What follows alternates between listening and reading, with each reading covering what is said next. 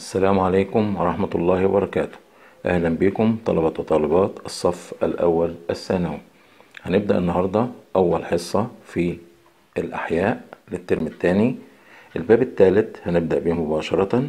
الباب الثالث نركز مع بعض كده عشان في شوية تعريفات شوية حاجات فهم كده قبل ما نبدأ في الوراثة.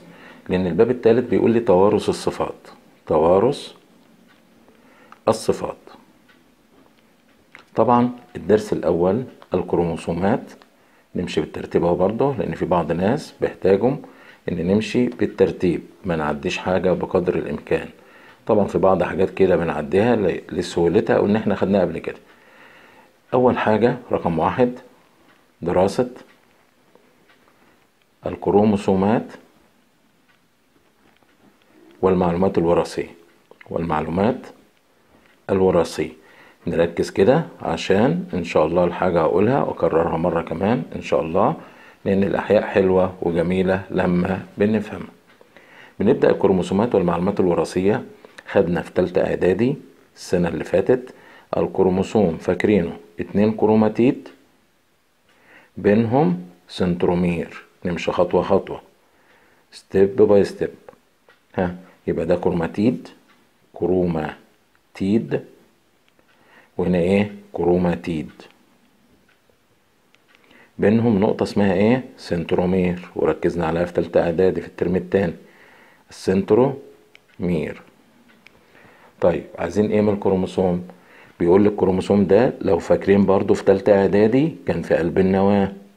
معلش في ناس بتقول أنت عاملها ليه كده؟ معلش إحنا نبسط الأمور قدر الإمكان. الكروموسومات شكلها الوضع الطبيعي بتاعها كده ده الكروموسوم موجودة في قلب النواة. خلاص ومعروفة إن إحنا قلنا المنظر اللي قدامي في قلب النواة ده بنقول عليه إيه؟ 2 إن. يعني الكروموسومات كاملة اللي هي 46 يبقى في معلومة برضو نركز عليها عشان لما نيجي نتكلم في نظرية الكروموسومات أو النظرية الكروموسومية هنقول 2 N معناها إيه؟ ها؟ الكروموسومات كاملة. الكروموسومات كاملة. يعني إيه كاملة؟ يعني في كل كائن حي الكروموسومات كاملة. ده في الانسان 46 كروموسوم. 46 كروموسوم. ممثلين في 2 N عشان يسهل دراسة الإيه؟ الوراثة والانقسام الميتوزي والميوزي. يبقى أشوف 2 N أعرف إن الكروموسومات كاملة. دي في الإنسان أهي. في الإنسان عشان نرتب الأمور وإحنا بنتكلم. يبقى دي موجودة فين؟ في الإنسان. طيب. لما يكتب لي N يبقى نص المادة الوراثية ده في الإنسان يعني إيه؟ 2 N في جميع خلايا جسم الإنسان. خلاص حتى المناسل عشان برضو في ناس بتتلخبط. في فرق بين المناسل اللي هي الخصية والمبيض. الخصية والمبيض فهي يا جماعة؟ كروموسومات كاملة. كروموسومات إيه؟ كاملة. أمال الان موجودة فين؟ في الأمشاج. إيه هي الأمشاج. يا إما حيوان منوي اللي جاي من الخصية في الذكر يا إما بويضة اللي جاي منين؟ من الأنثى. طيب عشان ما نطولش في الكلام ده إحنا ماشيين خطوة خطوة برضو عشان نجيب الوراثة كده من الأول ونفهم. طيب الكروموسوم قلنا في قلب النواة توجد داخل النواة. خلاص في أزواج. تمام؟ سواء في الجسدية أو الإيه؟ التناسلية. في أزواج. التناسلية يعني إيه؟ المناسل. المناسل بركز عليها تاني وبعيدها تاني أهو. طيب في معلومة عندنا في أولى سنة وجديدة بقى الطرز الكروموسومي. معلش نركز عليه قوي قوي قوي في النظام حتى الجديد. الطرز الكروموسومي هو عبارة عن إيه؟ ليه تعريف آه. ترتيب ترتيب. الكروموسومات. تنازليا تنازليا حسب حاجتين.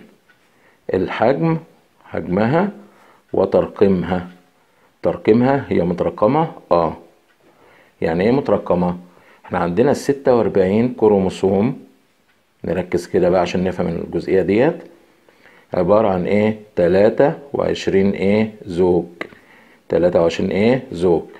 قالوا لنا علميا وطبيا من واحد لاتنين وعشرين زوج دي الجسدية. طب رقم تلاتة وعشرين. خلاص رقم تلاتة وعشرين. ده الايه؟ الجنسية. جنسية يعني إيه؟ سواء ذكر أو أنثى. ذكر أو أنثى. يعني إيه ذكر أو أنثى؟ هنك... هن... الجزء اللي أنا هتكلم فيه بعد توضيح الطرز الكروموسومي ده هنتكلم عن من المسؤول عن تحديد الجنس. يعني في كروموسومات ذكرية وكروموسومات إيه؟ انثوية بس المعلومة اللي أنا عايز أقولها. رقم 23 ده جنس آه. ولكن ترتيبها ترتيبه في أو بعد السابع في الحجم.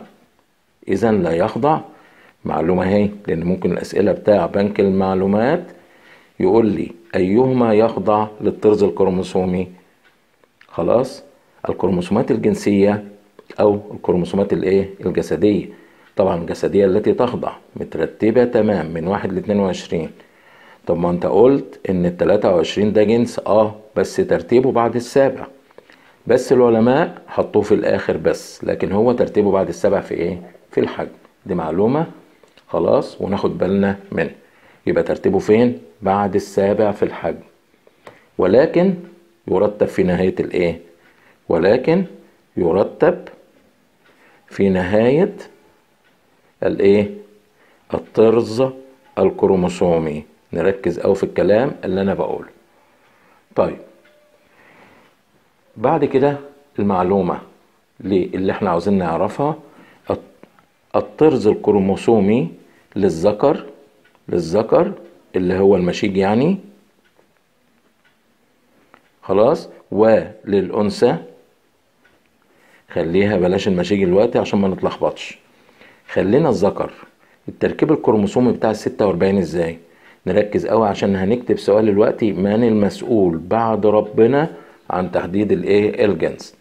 أنا عندي 44 جسدية من 46 للذكر XY يبقى الوقت الكروموسوم الجنسي في الذكر التركيب بتاعه أو الشكل بتاعه XY طب الأنثى؟ 44 زائد إكس إكس لذلك في معلومة أن الكروموسوم الذكري غير متماثل يعني في XY هنا إيه؟ متماثل. نكتب المعلومة دي.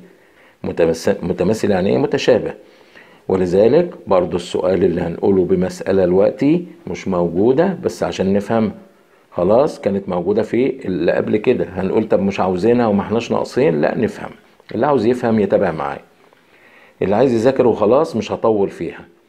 يبقى 44 زائد X Y لأن المرحلة الجاية فهم في كل حاجة. يعني المعلومة ديت قال لي تحديد الجنس. ممكن يقول لي بنك المعلومات؟ سؤال. من المسؤول عن تحديد الجنس ممكن يجيبها أي معلومات لازم نعرفها.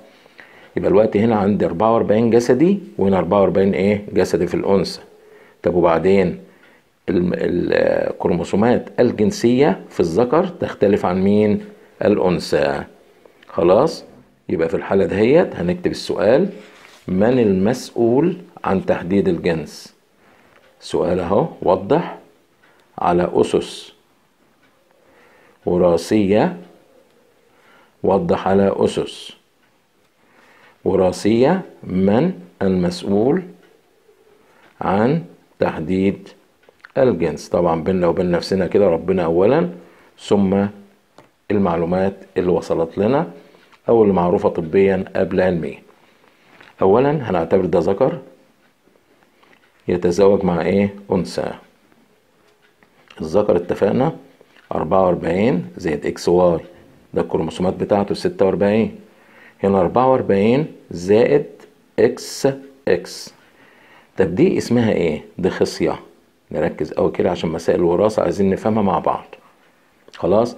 الخصية فيها ستة وأربعين اتفقنا على كده. طب هنا مبيض الأنثى. علامة المذكر بقى عشان إيه؟ نبقى شاطرين واخدينها في تالتة إعدادي. أهو.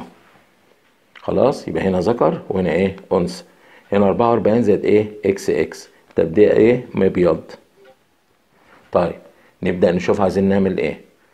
طبعا لما يحصل اخصاب ما بين الذكر والأنثى اولا دي بنسميها في مسائل الوراثة بقى parents الآباء. طيب هنا gametes أو الجاميتات وما رقمتش لأن هو جيل واحد اللي هنعمله. خلاص طالما جيل واحد زي ما هناخد في مسائل الوراثة إن شاء الله جيل واحد ما بنرقمش ما بنقولش parents يعني الآباء طبعا عشان برضو الترجمة gametes أو الجاميتات أو الأمشاج. طبعا إن هو نركز بقى في المعلومة دي 22 زائد X هنا 22 زائد إيه؟ Y. ده مين؟ الحيوان المنوي. هو الحيوان المنوي كده تركيبته؟ آه. حيوان إيه؟ منوي. هنا برضو إيه؟ حيوان منوي.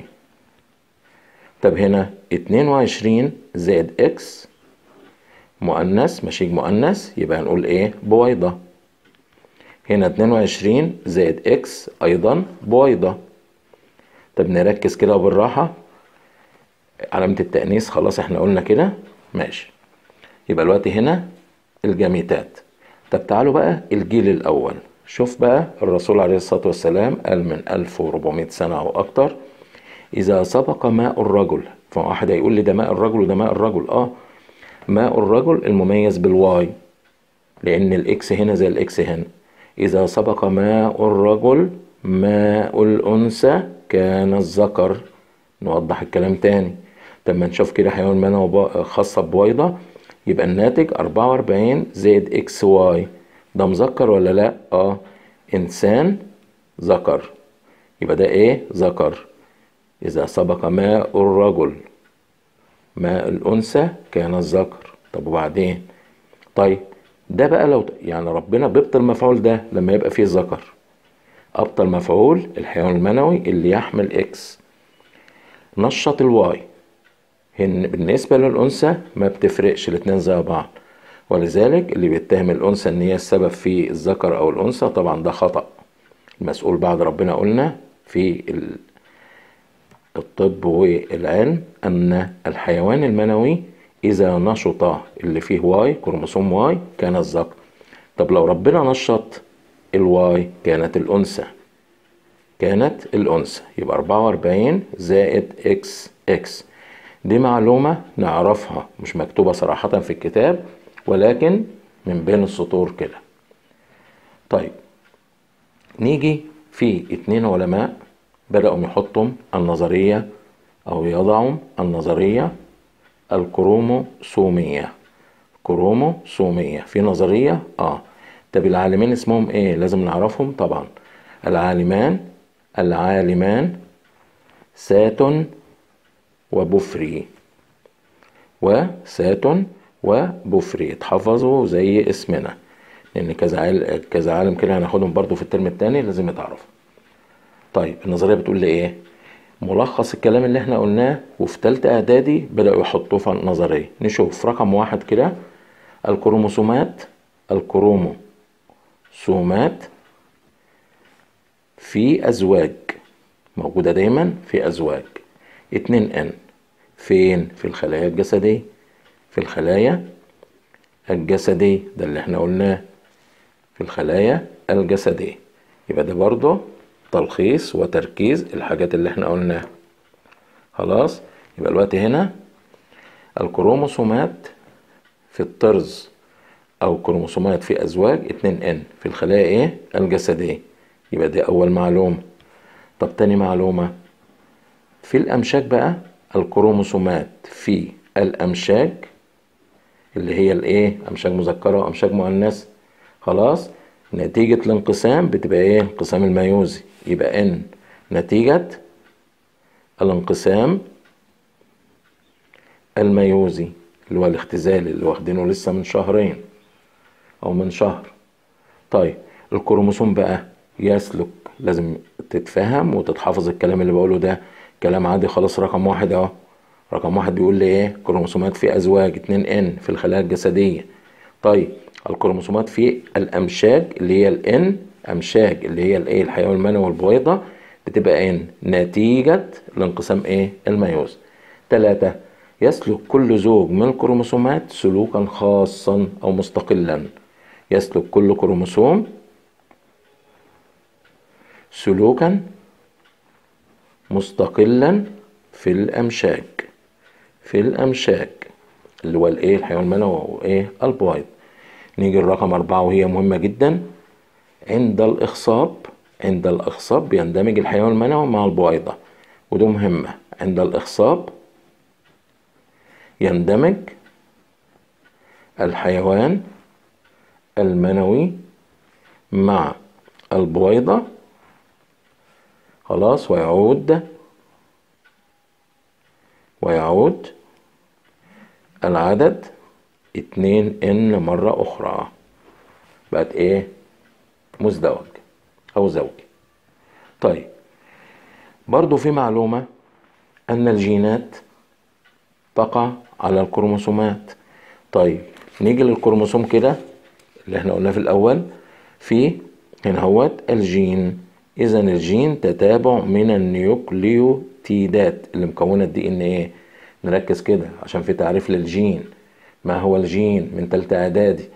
تتابع من النيوكليوتيدات. تمثل شفرة.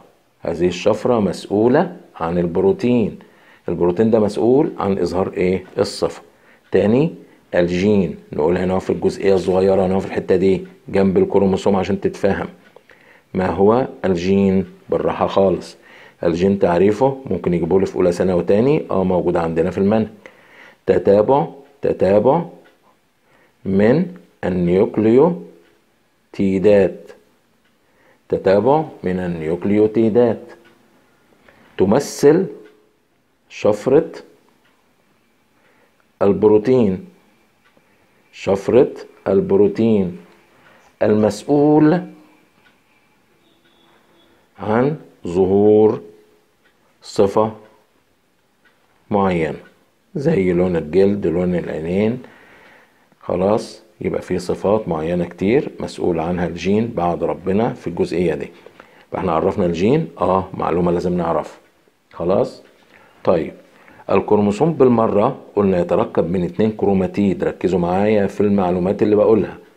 الكروموسوم يتكون من اتنين كروماتيد بينهم السنترومير. ده اسمه تركيب. الكروموسوم تركيبيا. تركيبيا آه. لأن في تركيب كيميائيا خدناه السنة اللي فاتت ومكرر علينا برضه. إيه هو كيميائيا؟ بيتكون من حاجتين دي إن إيه دي إن إيه زائد بروتين. يعني إيه؟ ده تركيب الكروموسوم كل حاجة قصاد بعضها أهي. DNA وبروتين يبقى ده تركيبه إيه؟ كيميائيا. يبقى الكروموسوم يتركب كيميائيا. يبقى الكروموسوم الموضوع بتاعه أنه يوجد في نواة كل خلية. في أي كائن حي. ويحمل ال DNA طب ال DNA فيه إيه؟ فيه تتابع من النيوكليوتيدات. إذا ال DNA موجود في الجينات. يبقى الجين محمول في الكروموسوم اللي بيظهر الصفة.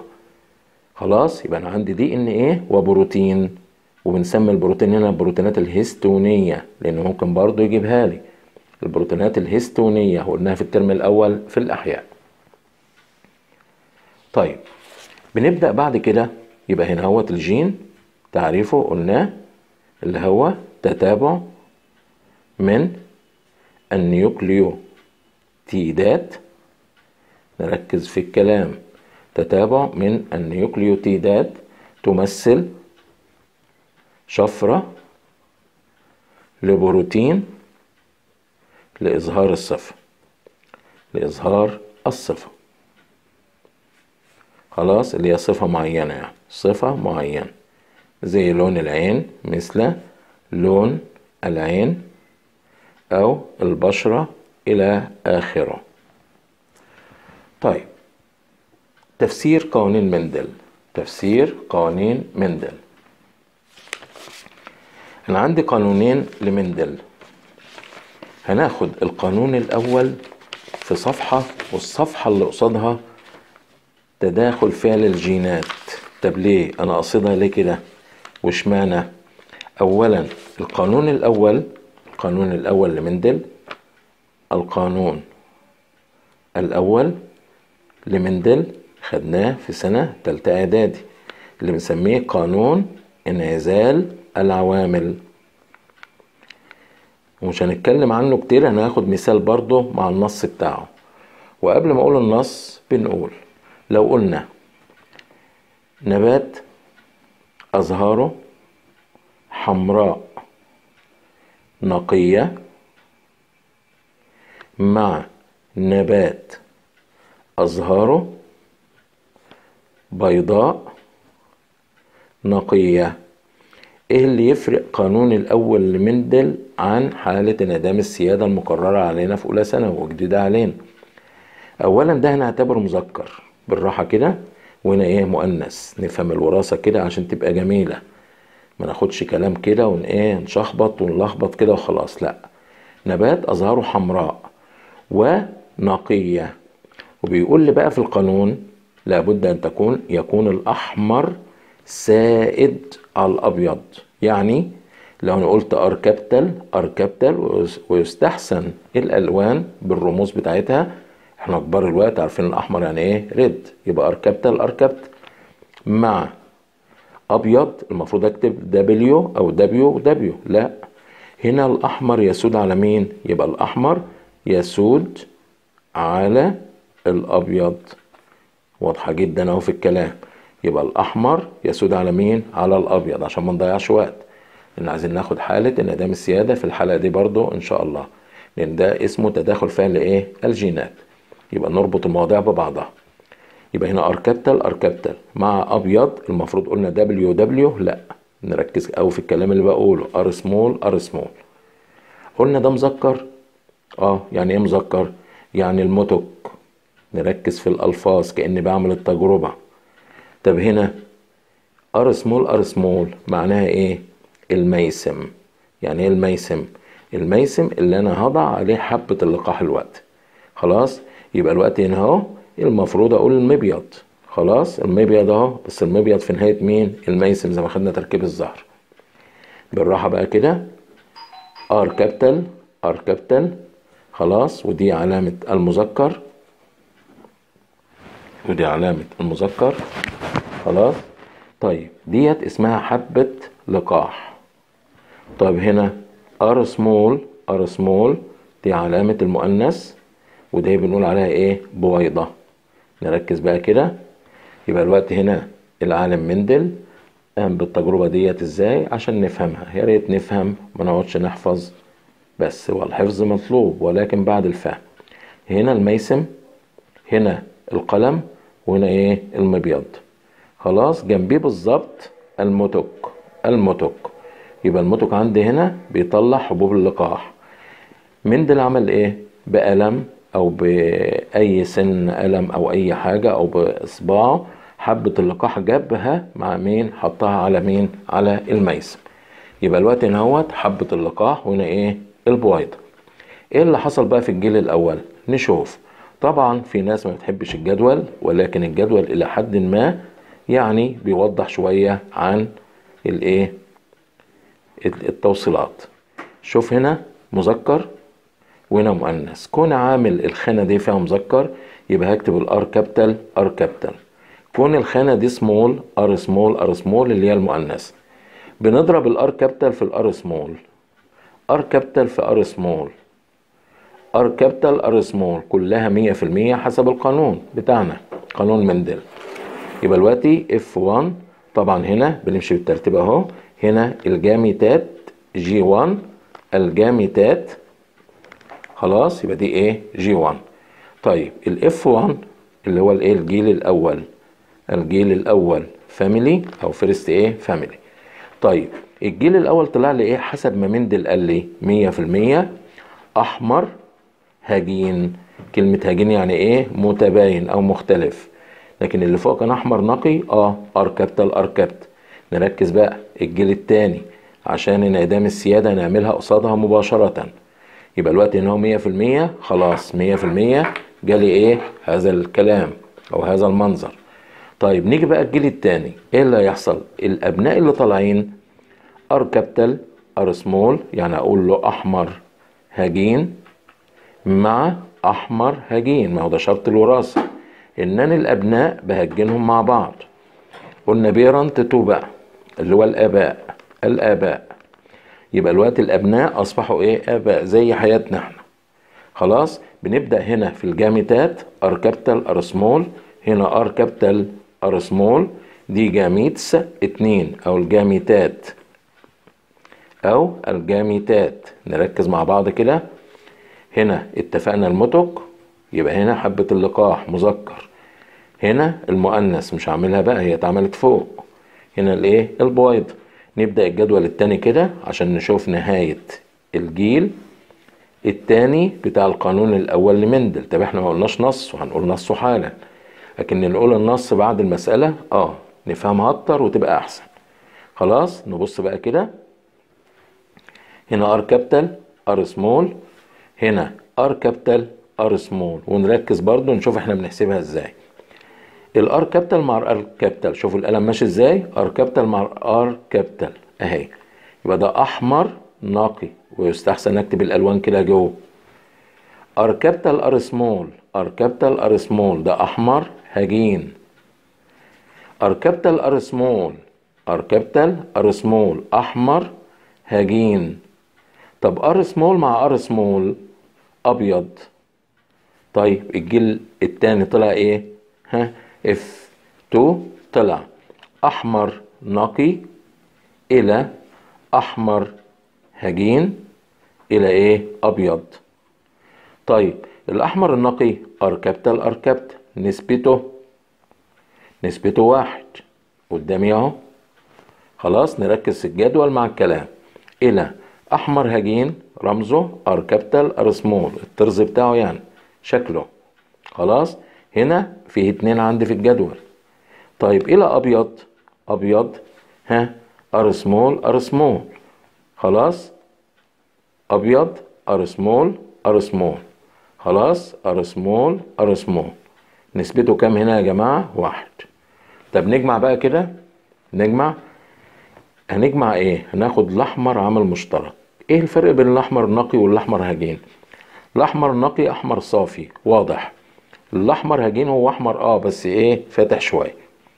يبقى إحنا خدنا اللونين اللي زي بعض أحمر يبقى تلاتة أحمر اللي إحنا بنقول عليها سائد لأن الصفة السائدة لها شكلين يا إما نقي يا إما إيه هجين.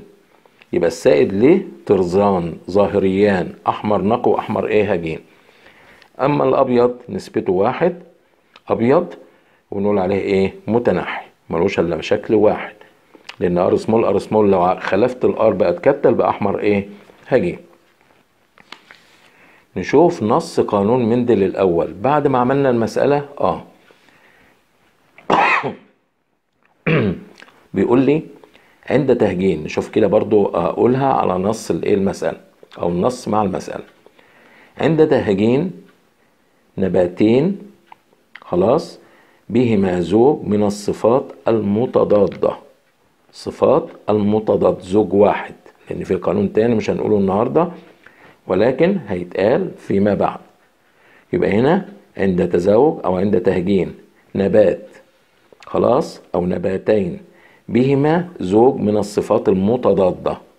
خلاص؟ فإنه في الجيل الأول ينتج صفة واحدة وهي السائدة بنسبة مية في المية وفي الجيل الثاني تظهر الصفتان معا بنسبة تلاتة سائد إلى واحد إيه متنحي ده اسمه إيه؟ القانون الأول إيه؟ لمندل أمال اللي أنا عاوز أعمله قصاده بقى مين؟ الصفات الغير مندلية الصفات الغير مندلية اللي إحنا بنسميها انعدام السيادة. انعدام السيادة ما ننساهاش بتيجي على طول في الامتحانات. انعدام السيادة يشبه القانون الأول لمندل ولكن لا ينطبق عليه هذا الكلام. طب نعرف حالة انعدام السيادة. هنقول هي حالة وراثية. حالة وراثية. لا يسود فيها أحد الجينين على بديله الآخر. مثال على طول وأول ما أسمع المثال ده نبات شاب الليل. نبات شاب الليل أول ما أسمعه في الامتحان مش هيقول لي انعدام سيادة ده يقول لي نبات شاب الليل. الوراثة في نوعها إيه؟ انعدام سيادة.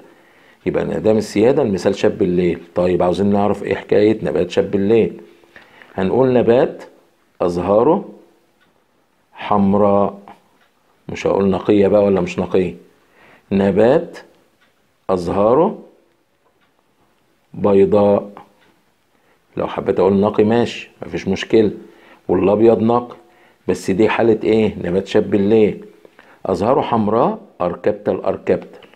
طيب إيه الاختلاف عن قانون مندل إن مش هعمل R small R small أمال هعمل إيه؟ W capital W capital إشمعنى؟ لا يسود أحدهما على الآخر سيادة تامة. خالص. يبقى دي ال parents. واحد نشوف اللي بيحصل إيه في الجيل الأول؟ هيظهر لي الصفة وسطية ما بين الأحمر والأبيض. ده مذكر أهو. وهنا إيه؟ مؤنث. W capital W إيه؟ capital ده مؤنث أهو. خلاص هنا gametes. الامشاج قلناها في قانون مندل. هنا الآباء. طيب نعمل الجيل الأول عشان نعرف برضو الفرق ما بين القانون الأول لمندل ومين؟ انعدام السيادة. خلاص؟ لأن ده اسمها تداخل تداخل فعل الجينات. ده العنوان بتاع الدرس التاني بالمناسبة عشان الناس اللي بتتابع الدروس. خلاص؟ تداخل فعل الجينات. بين قوسين الصفات غير مندلية طب الأول حاجة هندرسها لأن في ثلاث حاجات هندرسهم ورا بعض إن شاء الله. انعدام السيادة في حاجة تانية اسمها الجينات المتراكمة. نمرة ثلاثة الجينات الإيه؟ المتنحية أو الجينات المميتة. المتنحية أو الجينات المميتة الإيه؟ السائدة. نكمل الجدول عشان ما يروحش مننا. R capital R capital W capital W capital في ناس بتعمل لي W capital R capital لا الأحمر معلش. آه لا يسود على الأبيض بس يعني إيه؟ الصفة بتاعته زاهية شوية فيفضل وإحنا بنكتبها R الأول قبل الايه ال W أدي حاجة. الحاجة التانية ترتيب الحروف بال English خلاص يفضل العلماء إن هم بنرتب. زي الكيمياء العضوية لما نيجي نسمي تسمية الكيمياء العضويه في ثالثه ثانوي ان شاء الله بنرتب الايه حسب الحروف الأبجدية وترتيبها. خلاص طالما الاتنين متساويين. يبقى R capital W capital خلاص كلها R capital W capital كلها؟ آه. يعني مية في المية؟ ما هو كل مربع من ده خمسة وعشرين في المية زي ما خدنا في تالتة اعدادي طب F 1 هنقول إيه؟ مية في المية صفة وسطية عشان أأمن نفسي بين قوسين قرنفلي لونها قرنفلي آه. طب الطرز المظهري بتاعها؟ R capital W capital طرز مظهري الشكل بتاعها خلاص؟ يبقى قرنفلي طرز مظهري الطرز الجيني التركيب بتاعها نسمع الكلام ده لأن ممكن نسأل فيه في النظام الجديد. يبقى ده اسمه الطرز المظهري اللون. أما الطرز الجيني التركيبة اللي إحنا طلعناها طلعناها كده تأليف لا من المسألة ومن الجدول اللي عندنا.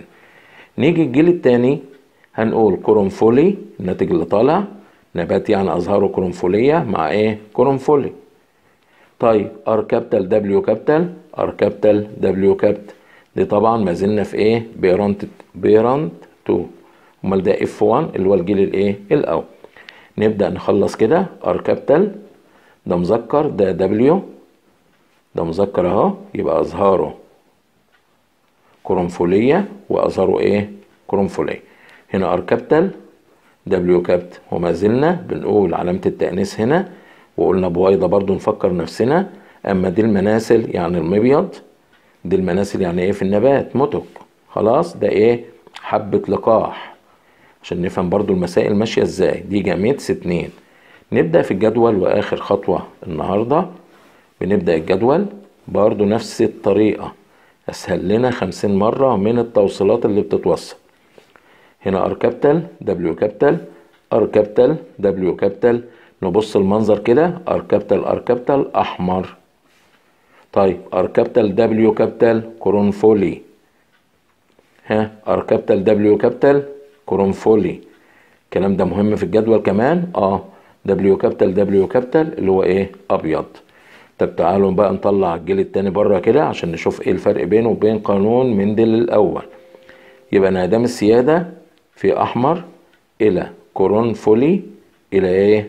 إلى أبيض. نشوف النسبة كده الرمز أهوت R capital R capital R capital W capital W capital W capital هنا واحد إلى اتنين إلى واحد. وممنوع الجمع. النسبة دي نحفظها ونفهمها الأول قبل كل حاجة. يبقى ممكن يطلب مني النسبة من غير حل المسألة؟ آه. يعني انعدام السيادة نسبتها واحد إلى اتنين إلى إيه؟ واحد. أما قانون مندل الأول تلاتة سائد إلى واحد إيه؟ متناحي هنا لا يسود أحدهما على إيه؟ على الآخر. يبقى الحالة ديت بيقول لي اسمها انعدام السيادة. نسبتها واحد إلى اتنين إلى إيه؟ إلى واحد. ده كان أول حلقة عندنا في الأحياء في أولى ثانوي السنة دي إن شاء الله. نتمنى إن يكون المعلومات وصلت. ونحاول نرجعها مرة واثنين وثلاثة في الفيديو بإذن الله عشان إيه؟ نثبت المعلومات. عشان الحلقة القادمة إن شاء الله نبدأ في الجينات المتكاملة. تاني حاجة عندنا في الصفات الغير مندلية أو تداخل فعل الجينات. ومتنسوش تشتركوا معنا في القناة وتعرفوا زمايلكم عشان عشان كلنا نستفيد. وإلى اللقاء في الحلقة القادمة. والسلام عليكم ورحمة الله وبركاته.